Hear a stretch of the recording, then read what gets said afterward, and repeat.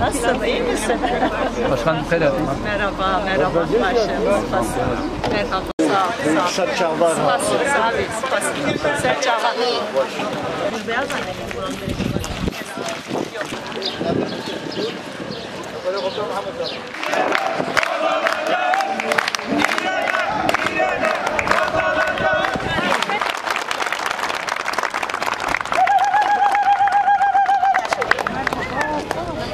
کو به سکن خو به اراده خو دستلات کو 20 سالانه به وی ولاتی به هوانه ریود به و به اراده خو و پیشیا وی گرد ام دبیجن ام سپاسیا خو جرا پیشکش دکم هبو ناوه هبو ناوه اراده و ام سر بلندن هون هر هبن ام بیجن سرکفتن و یامه به هون دزانه به سالانه به هوا که توی سرگلی بداته Çi siyaset evi tüne ye. Çi gotin evi tüne ye ku vere van kolanı bu vere bağıve. Brastı rüyü evi jü tüne ve derke ve hemberi ve. Tene haleki destevan damaye. Sen erişen kırkirini. Sen erişen bişer. Dixwaze iktidara xwe peşeroja xwe berdevam bike. Olduğu kararlılığı bir kez daha göstereceğine emin olduğumu ve buna yürekten inandığımı ifade ederek başlamak istiyorum. Sizler 14 Mayıs tarihinde büyük bir başarının altına imza attınız.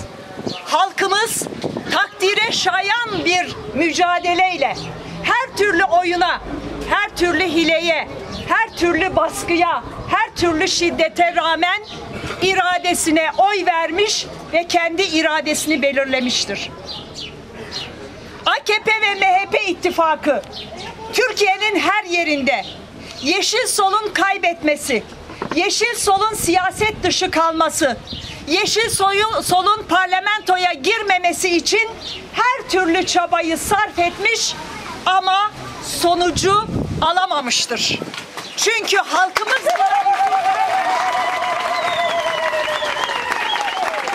halkımız buna izin vermemiştir.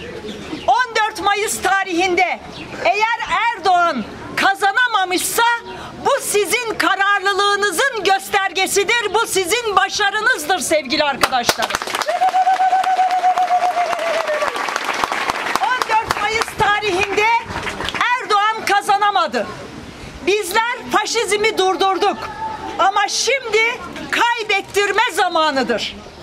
28 Mayıs tarihinde yapılacak olan Cumhurbaşkanlığı seçiminde Erdoğan'a AKP'ye kaybettirmek bir kez daha bizlerin görev ve sorumluluğudur. Biz biliyoruz ki yapacağımız tercih önemli bir tercih olacaktır. Aydınlık ve karanlık arasında bir tercih yapacağız. Demokrasi ve faşizm arasında bir tercih yapacağız. Ve bu Türkiye'nin geleceği açısından gençlerin geleceği açısından, halkımızın yarınları açısından önemli bir tercih olacaktır. Şunu unutmayalım.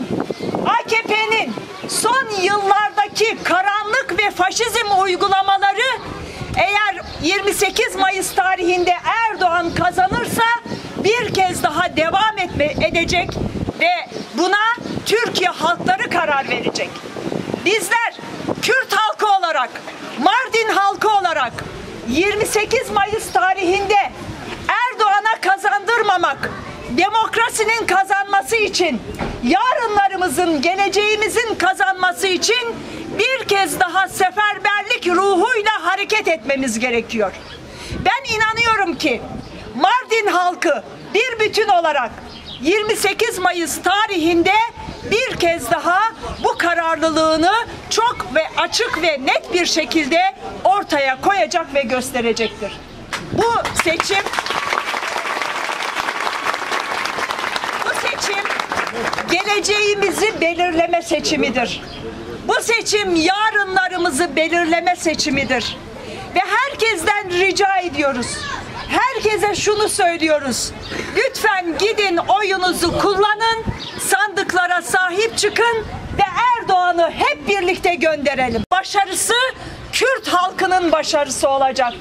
Kürtleri inkar eden, Kürtlere düşman gözüyle bakan, Kürtleri yok sayan, Kürtlerin haklarını vermeyen ve elinden alan bir rejimin, bir sistemin artık gitme zamanı gelmiştir. 14 Mayıs tarihinde kazanamamasının sebebi Kürt halkının iradeli duruşudur.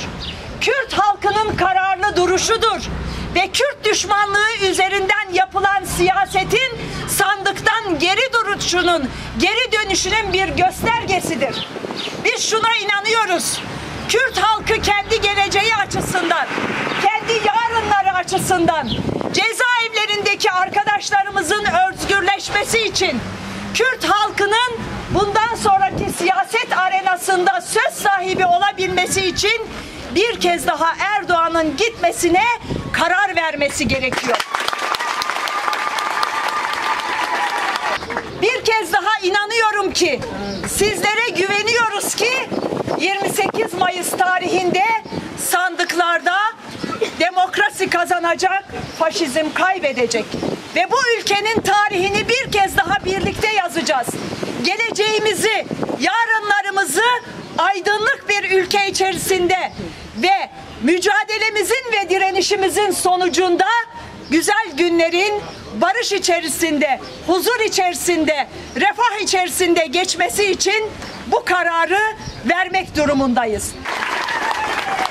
14 Mayıs tarihinde Yeşil Sol Parti olarak her ne kadar istediğimiz sonuçları elde edememiş olsak bile bunun öz eleştirisini nerede yanlış yaptıysak, nerede hata yaptıysak, nerede bir eksiklik yaptıysak halkımıza söz veriyoruz. Bütün bunları masaya yatırıp değerlendireceğiz. Halkımızın almış olduğu